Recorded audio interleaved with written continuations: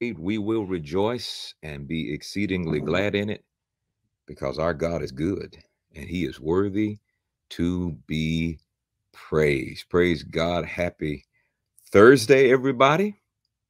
It's good to be alive, man. Happy Thursday.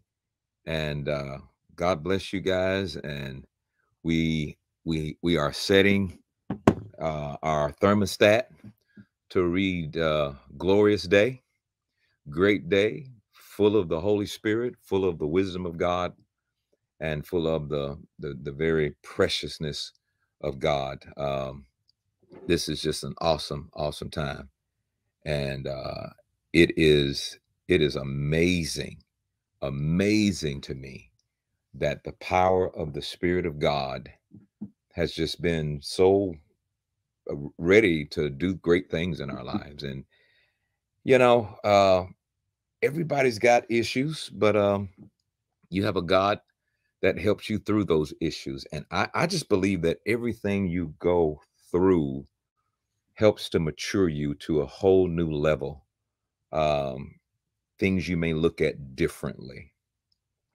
Uh, maybe you were really hard on one type of thing, and you know, um, but you know, it, God God's really in the business of making us more like Jesus in our character.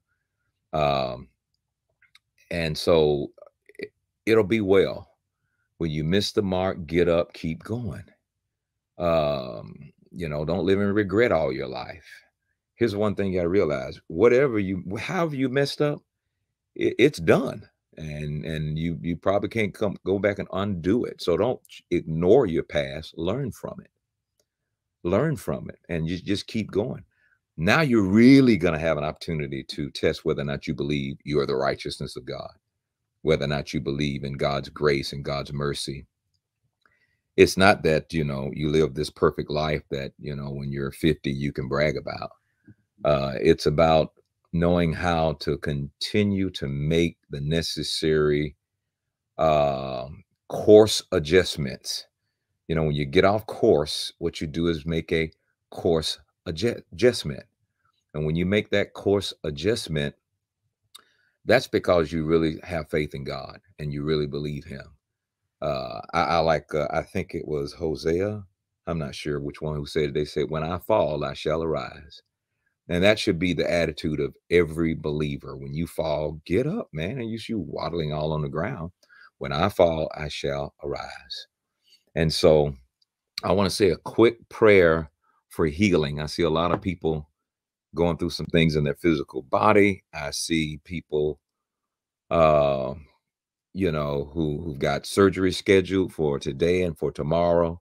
Let's just agree right now in the name of Jesus. Father, we come before you in total dependence, complete dependence on you. And we receive the finished work of healing right now. We thank you, Lord. On that cross, you said it is finished. And so we receive it right now. And so I add my faith with those who are online with me right now. And I speak to your physical body and I say to your body, body, line up with the word of God, line up with the promises of God by which God Himself will bring to pass. And so right now we have faith in the faith of Jesus that we are healed right now in Jesus' name. I speak to your body and I command it to be well in Jesus' name. And in the name of Jesus, uh, if you're due to go on the on the on, on into surgery, I pray wisdom on the doctor that he'll have skill to to perform it well. And in the name of Jesus, whether you're healed by surgery or supernatural, we give you the glory, God. So I speak healing into the atmosphere right now. There's no time or distance in the spirit. And I thank you that wherever you are, the anointing for healing is upon you right now. And Father, we trust you, we believe you, we rely on you today. Be healed in Jesus' name. And everybody said, Amen. Now just thank God for that. Just thank God I'm healed. Thank God that I'm healed. Thank God that I'm healed in the name of Jesus. Praise God. You know, I've been attacking my physical body over the last couple of months, and I'm just determined that uh, I'm healed, number one. And number two, I'm just going to keep doing what I do, you know, as if I'm healed. And I am healed. So no phone calls. I am healed. And, and I, I'm thankful to God for the power of the Holy Spirit hitting my body and and and bringing this thing to an end. And it is a blessing of the Lord. And so I agree with you. See what I went through uh, with shingles, uh, and that that's what it was. So you don't have to guess. That that was I'd never been through anything like that before, and it's caused me to be very very sensitive to people who live with pain. Uh, it caused me to be very sensitive to people who have who go through stuff, you know. And um, you know, I can hear somebody saying, "Well, I didn't think a man of God would ever be, you know, be attacked in his body. What did you do wrong to be attacked in your body?" You know, they said the same thing to the guy, and I think it's John nine one. He was born blind, and he said, "Who did sin, this man or his parents, that he was born blind?" And Jesus said, "Nobody sinned." He said, "But I allowed this to happen." So that my glory could be, could be seen working in them. And I'm telling you, in the name of Jesus, I add my faith with yours. Praise God, you are healed. Praise God, the manifestation come forth. Praise God, you walk yourself through that situation, thanking God that you're healed, praising God for what He promised, and depending on God to bring every bit of it to pass in your life. I plead the blood of Jesus over your physical body. I plead the blood of Jesus over your mind. I plead the blood of Jesus over anything that concerns you. And I declare that all is well in the mighty name of Jesus. And and and the church said, Amen. God bless you. God bless you. Hey man, let's uh let's get into some confessions here this morning. And uh I, I know I'm just a little bit early and I want to do some confessions and I want to I want to continue to talk about how grace, you know, I, I want to probably call this grace the teacher, grace the teacher, because I, I man, to have grace teach you to to be godly and have grace to teach you to to be righteous and have grace to teach you to be sober. Glory be to God. Hallelujah. So get it out of your mouth. Go ahead and declare it. You don't have to make that happen or bring that to pass. Why? Like Abraham, you just trust God that he is able to do what he promised. Hallelujah. And God promised you healing. God God promised that uh, the pain would be taken away from you. He promised that. So, amen. I trust God. Um, I trust the Lord Jesus Christ that what he promised, he is able to bring to pass. He is able to bring to pass. My God, I'm about to shout in here. So every time you find a promise in the Bible, remind yourself God is able to bring it to pass. Don't you get all frustrated and um, uh, stressed out over, oh God, what do I have to do to bring to pass? Oh, I don't know if I've been good enough to bring to pass. No, no, no, no, no, no, no, no. No, no, no, no. God is able to bring it to pass. He promised it. He will do it. He will make it happen. And that's where I want your your your focus uh, um, at today. Is just just God promised it. He brings it to pass. Now, uh, you might need healing in, in your finances. You know, it might be healing in your relationship. You you might need healing in your physical body. We we're specifically talking about physical body because I just felt led to pray for everybody and their health but uh, I pray for the health of your marriage. I pray for the health of your relationships. I pray for the health of your provisions. Uh, but God, God said, I will supply all your need according to his riches and glory through and by Christ Jesus. And I believe he does that so we can give him the glory, so we can continue to thank and praise God. Hallelujah. Glory to God. I feel a little something in here. Praise God. Hallelujah. God is the mighty healer, and He is healing and, and causing things to happen in your life. Somebody might need to, you know, you might be going through a healing in your emotions. Man, it's been a tough time the last two years or so. It's been rough, but God's healing your emotions. God is healing everything that concerning concerns you. He is perfecting everything that concerns you. Glory be to God. My God is a good God. Hallelujah. Thank you, Jesus.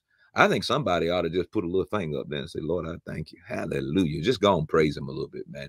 He is worthy to be praised. From the rising of the sun to the going down of the same, my God is worthy to be praised. I feel a little hoop trying to creep up in my voice. I am grateful and thankful to my Lord God. He is almighty. He is well able to do exceedingly abundantly above all you can ask or think in the name of Jesus. Amen. All right. So I, I didn't preach to you. Glory be to God. And, and, and, and I ain't finished. Let's go ahead and get Psalms 91 equipped. And, uh, you know, maybe what we ought to do is just make some uh, declarations uh, today uh, where God's medicine is concerned and just declare some things where your healing is concerned. And let's just go ahead and do that. So uh, let's call this Healing Thursday. Amen. Healing Thursday. And then we'll talk a little bit about how grace will teach us. Amen. Praise the Lord. Let's go ahead and declare Psalms 91. Ready? I declare that I will dwell in the shelter of the Most High God. I declare that I will find rest in the shadow of the Almighty. I declare that God is my refuge and my fortress. I declare that you are my God in whom I trust and with great confidence in whom I will rely. I declare that God will rescue me from every trap and protect me from every disease. I declare that I am covered and protected by his outstretched arms. I declare that God's faithful promises are my armor and my protection. I declare that I will not be afraid of the terrors of the night, nor of the arrows that fly in the day. I declare that I will not dread any disease that stalks in the darkness, nor any disaster that strikes at midday. I declare that because God is my refuge and the Almighty God of my home, no evil can befall me, and no plague can come near my dwelling. I declare that God has ordered his angels to guard, defend, and protect me and my house. I declare that God's armies of heaven will keep me from falling. I will walk unharmed and kick anything that is evil from my path. Glory be to God. I declare, come on, somebody. That's a powerful thing to be able to declare something and believe you receive it. Amen. I declare that because of God's love for me, I will call upon him. He will set me above all my troubles. He will deliver me from all my fears, and he will honor me with his presence and power. I declare that he will reward me with long life, and he will show me his salvation. In Jesus' name, amen, amen, and amen. Praise God. God is good all the time. Let's make some declarations where your healing is concerned. You ready? Jesus is the Lord of my life. Sickness, sickness and disease have no power over me. I am forgiven and free from sin and guilt. I am dead to sin, and I'm alive under righteousness. I am free from unforgiveness and strife. I forgive others as Christ has forgiven me. For the love of God is shed abroad in my heart by the Holy Ghost. Jesus bore my sins in his body and on the tree. Therefore, I'm dead to sin and alive unto God, and by his stripes I am healed and made whole. Jesus bore my sickness and carried my pain. Therefore, I give no place to sickness or pain. For God sent his word and healed me. Father, Because of your word, I am an overcomer. I overcome the world, the flesh, and the devil by the blood of the Lamb and the word of my testimony. You have given me abundant life. I receive that life through your word, and it flows to every organ of my body, bringing healing and health. Heavenly Father, I attend to your word. I incline my ears to your sayings. I will not let them depart from my eyes. I keep them in the midst of my heart, for they are life and healing to all my flesh. And as God was with Moses, so is he with me. My eyes are not dim, neither are my natural forces abated. Blessed are my eyes, for they see, and my ears, for they hear. No evil will befall me, neither shall any plague come near my dwelling. For you have given your angels charge over me. They keep me in all my ways, and in my pathway is life, healing, and health. Jesus took my inform- in my infirmities and bore my sickness. Therefore, I refuse to allow sickness to dominate my body. The life of God flows within me, bringing healing to every fiber of my being. Glory. I'm redeemed from the curse. Galatians 3:13 is flowing in my bloodstream. It flows every cell of my body, restoring life and health. The life of 1 Peter 2:24 is a reality in my flesh, restoring every cell of my body. I present my body to God, for it is the temple of the living God. God dwells in me, and his life permeates my spirit, my soul, and my body, so that I am filled with the fullness of God every day. My body is the temple of the Holy Ghost. I make a demand on my body to release the right chemicals.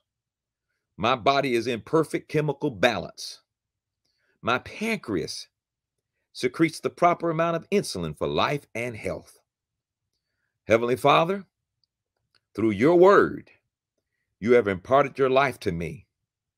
That life restores my body with every breath I breathe and every word I speak. That which God has not planted is dissolved and rooted out of my body in the name of Jesus. First Peter 2 24 is engrafted into every fiber of my being, and I am alive with the life of God. In Jesus' name, ooh, that ought to get you stirred up, man. That ought to get you stirred up. Just declare right now, I am healed. In Jesus' name, amen and amen. All right, let's spend the rest of this time, just a few minutes. If you'll go to um, the book of Titus, and in Titus, we want to look at those scriptures again to show you about what the Bible says about grace being a teacher. Grace teaches us. All right. Titus chapter 2, verse 11. He says, For the grace of God that bringeth salvation has appeared to all men. So this grace has been made available to the whole world, every man that's on the planet. And uh, how do you get it? You you you know, Jesus is full of grace and truth. So Jesus and, and grace, when you accept Jesus and believe him, you've accepted and believe that grace. And he says it's available to everybody that believes. So just because it's available doesn't mean everybody believes it, doesn't doesn't mean everybody receives it. Verse 12. This grace teaches us. So grace teaches us, us who? Those us who believe, us who have received him. Grace teaches us. What does he teach us? That denying or refusing ungodliness and worldly lusts, Man, that's powerful. Grace will teach you how to deny and refuse ungodliness and worldly lusts. And then he says, and grace will teach you how to live soberly, righteously, godly. And now, a godly life is a life where you're in complete dependence upon God. And grace will teach you how to live a life that's complete uh, that's in, that's involved in complete dependence upon God in this present world.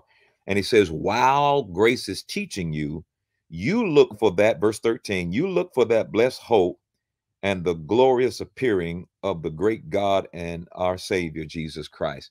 Man, I got to shouting over that on the way home from Bible study last night, just thinking about the return of the Lord.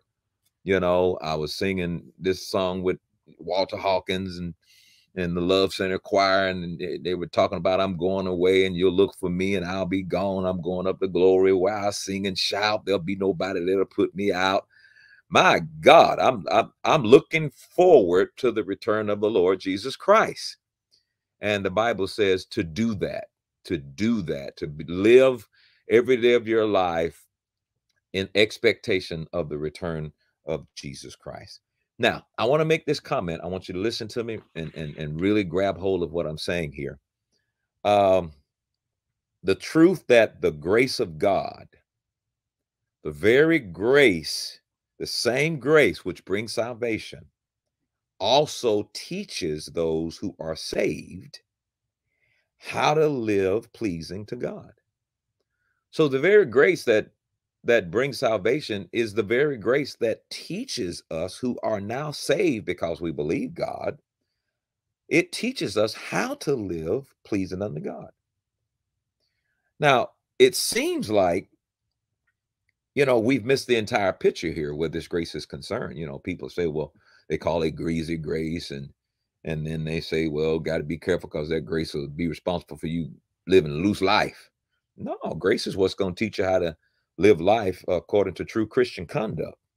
And now listen to this the person who says, I believe in grace, but I do not think that it should be emphasized too much because that leads to careless living. Well, that person has failed to understand God's work of grace on behalf of all he, all that God has done by grace, and how he has saved us from the wrath of God. You know, the Bible says in Second Peter chapter 3 and 18, he says we should grow in grace. Growth in spiritual life comes only by the grace of God. And I know you're convinced that it comes by your self effort, but it, it comes only by the grace of God. Peter admonishes in Second Peter chapter 3, 18, grow in grace. Well, I allow grace to teach me and as I allow that to happen, I begin to grow in that. There, there, there really is a, a tremendous need for a fuller presentation of the grace of God. Like I said, it's like an onion, and you just take layers off, and it, you, you know, you, you you don't you don't peel the whole onion. You just kind of take layers off. You follow what I'm saying? Um, uh, not only of the truth that salvation from condemnation is is entirely of grace, salvation from condemnation totally by the grace of God. I don't even know any other way you can get delivered from that condemnation without the grace of God. But even more, the, the truth that that that the very same grace which brings salvation, it teaches the saved how to live godly in this present world. Grace will teach you how to live in complete dependence upon God. Now that's that's the whole. I'm, I'm trying to show our church right now that the whole context of the Bible is learning, allowing grace to teach you how to be in complete dependence upon God. And Satan shows in, and what he wants to do is he wants you to declare your independence from God. In other words, he wants you to recognize yourself as um, someone you can depend on, and then through self effort and all the things you do to try to get done what only God can get done. And so there is a false idea, a, and it's a, it's a very prevalent one that God's law teaches men how to live godly lives.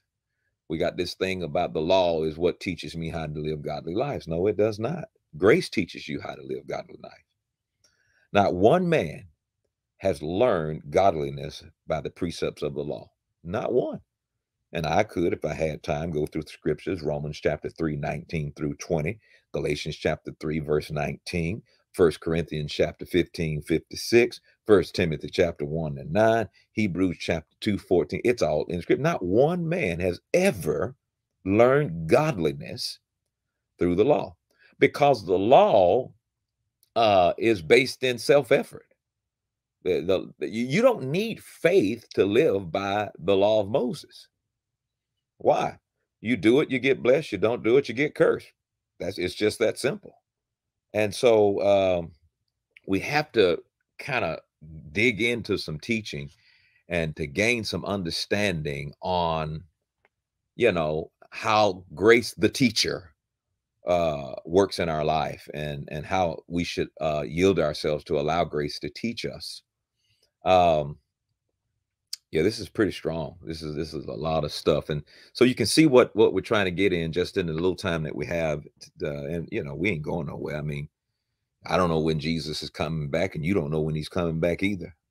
I know we're gonna be ready when he come back, but I, I want grace to teach me, and I'm I'm I'm learning so much, and I'm I'm understanding that as I go down this uh, path and this journey of complete dependence upon God, uh, dude, it's it's it's been a powerful journey, and I'm seeing things I've never seen before. I'm I'm kind of checking out stuff and uh, reevaluating what I used to think about this, and and and Grace is beginning to teach me. And so uh, somebody says, "Well, I really want Grace to teach me." Well, get in it, man you know, go and log in and and and, and go through the Grace Life Academy. Uh, go on uh, the the YouTube and get the all get all the uh, you know go to the channel, the YouTube channel, and just start listening to all these teachings on the gospel.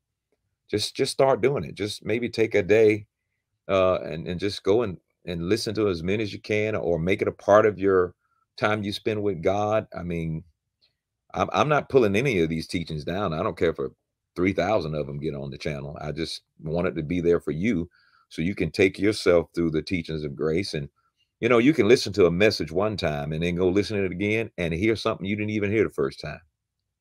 And I think as you become students of grace, you'll begin to understand how grace can teach you. And you'll begin to also understand uh, that you have really, really been in a, been in a way. I mean, you you you probably you are probably we are probably the big, biggest hindrance to our growth, and uh, I think God wants to to show us how to do that. Anyway, uh, I'm gonna let you guys go today.